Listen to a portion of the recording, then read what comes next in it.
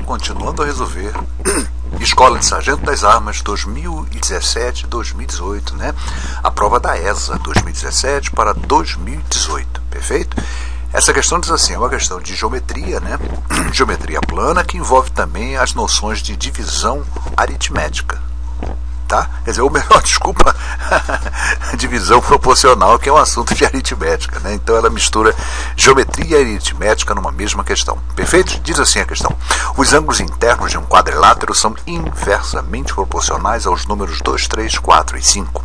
O maior ângulo interno desse quadrilátero mede aproximadamente. Esse aproximadamente é fundamental e eu vou mostrar a vocês por quê. Tá certo, gente? Vamos fazer essa questão? Gente, quem fala, né? Que, que quatro números, quatro valores, quatro ângulos são inversamente proporcionais a 2, 3, 4 e 5, está querendo dizer o seguinte: esses números serão diretamente proporcionais aos inversos, tá certo? Inversamente alguma coisa é diretamente proporcional aos inversos dessas coisas, tá certo? Para ficar bem bem claro, um português bem bem límpido, né? Então é diretamente aqui aos inversos, um meio um terço, um quarto e um quinto. E diretamente a gente sabe fazer sem maiores problemas, né? O problema é que, é que tem fração, né? E para a gente resolver isso, olha o que a gente vai fazer. Nós vamos transformar essas frações em quatro frações que sejam que tenham todas elas o mesmo denominador, perfeito? Quem é diretamente a um meio, um terço, um quarto e um quinto, será diretamente, sabe a quem? Olha só o que eu vou fazer, eu vou, vou calcular o MMC. O MMC entre 2, 3, 4 e 5 será 60. 60 por 2 dá 30, 60 por 3 dá 20, por 4 dá 15, por 5 dá 12. E aí eu tenho novas frações, quatro frações, todas elas agora serão terão denominador 60. Ou seja, nós teremos 30 60 avos, 20 60 avos, 15 60 avos, 12 60 avos.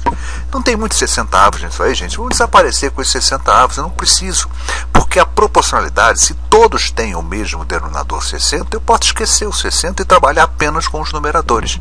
Então, quem é diretamente a um meio, um terço, um quarto e um quinto, será diretamente aos novos numeradores, ou seja, diretamente a 30, 20, 15 e 12. Perfeito? O que, que eu vou fazer agora? Olha só, gente.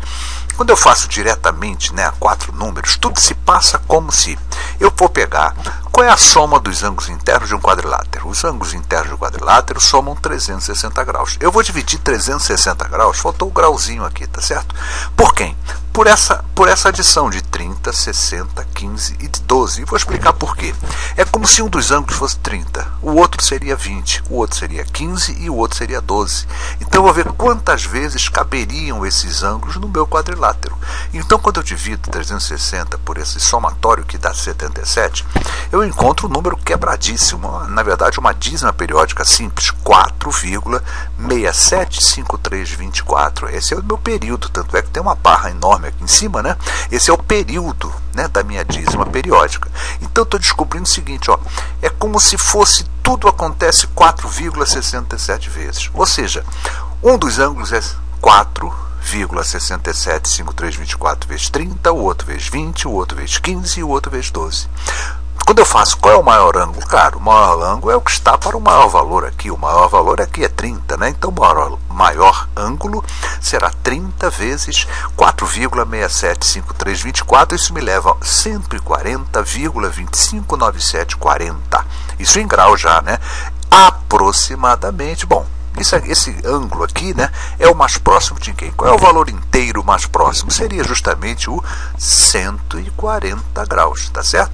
Mas se de repente ele fala 141, eu também poderia considerar certo, mas ele não, é, não seria louco de colocar o 141 como item resposta, né? 140 graus aproximadamente é o nosso maior, maior ângulo. E se ele tivesse perguntado para nós, né, qual é o menor ângulo? Seria aquele relativo ao 12, então daria 12 vezes o 4,675324. Perfeito? Então, ele quer o maior, o maior será 140 graus, nossa resposta certa aproximadamente, né? É a letra C. E com isso temos mais uma questão resolvida. Eu não sei se vocês entenderam, eu queria voltar um pouquinho. Essa coisa da divisão proporcional. Por que, que eu dividi 360 né, por, por, essa soma dos quatro números? Só que vocês tenham uma ideia. Se eu tenho uma coisa que é proporcional a 30, 20, 15 e 12, né? Quando eu somo essas coisas, né, eu vou saber quantas vezes esse 360, quanto essa soma cabe em 360. Foi o que eu fiz aqui. E percebi que essa soma caberia quatro vezes alguma coisa né, no 360. Ou seja, cada um desses ângulos é quatro vezes o, o, ângulo original. 4 vezes 30, 4 vezes 20, considerando né, o 4 como aproximadamente, né? 4 vezes 20, mas aqui é 4,67, né? Então vai dar mais um pouquinho, né? 4,67 vezes 30, vezes 20, vezes 15, vezes 12, e aí eu vou chegar às respostas. A maior delas será 140 graus. Resposta certa, letra C. Quem lhes falou? Professor Luiz Fernando Reis, responsável pelo site matematicamuitofácil.com. Antes de, de, falar alguma coisa, eu gostaria de deixar claro que essa questão foi muito mal formulada. Né? É, você, para fazer uma questão desse tipo, esse negócio de aproximar na cabeça do aluno não é muito interessante, não é muito bacana. Isso cria um vício no aluno dele sair aproximando tudo. E aí torna isso muito perigoso. Então, o aluno pode errar muitas questões com esse afã né, de, de de aproximações. Então, muitas vezes o aluno acha 3,2 numa questão e aí aparece um item resposta 3, ele fala aproximadamente 3. Não, não é aproximadamente 3. Vamos entender essa coisa de aproximar. Só pensa-se em aproximação quando o problema deixar isso claro, como é o caso dessa questão. Então a questão acabou sendo mal formulada, né? Essa razão 4,67 5324 é um número de gesto, é um número não é agradável, né?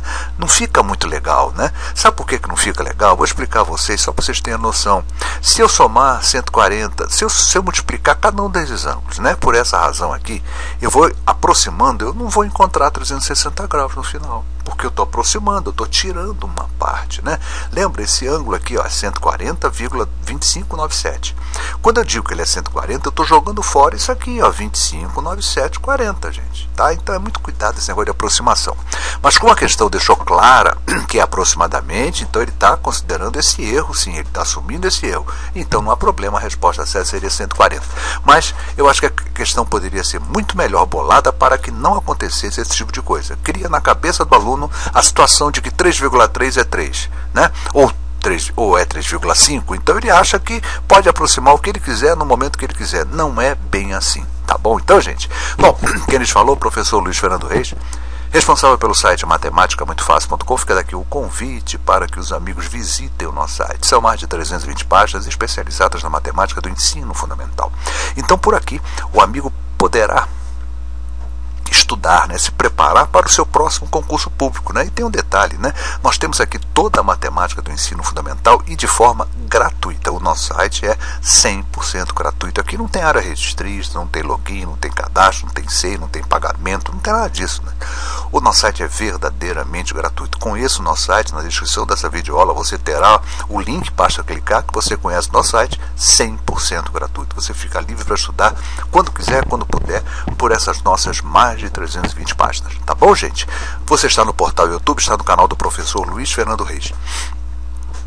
Se gostou da videoaula, dá um like. Se gostou, né? Da videoaula também, se puder se inscrever no nosso canal, vou te agradecer.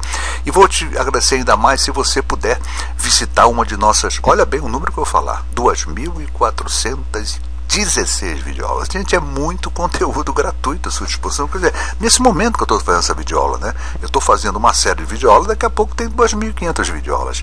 Então vamos pensar nisso. Mais de 2.400 videoaulas gratuitas para você. É muita questão de concurso da ESA, da EPICAR, do Colégio Naval, né?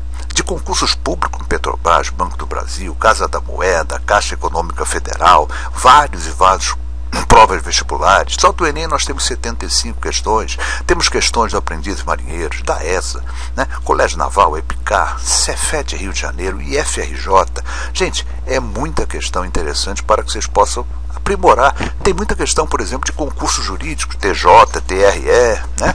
Então, gente, é muito conteúdo gratuito à sua inteira disposição. Perfeito, gente? Agradeço a vocês o carinho, a atenção e até a nossa próxima videoaula.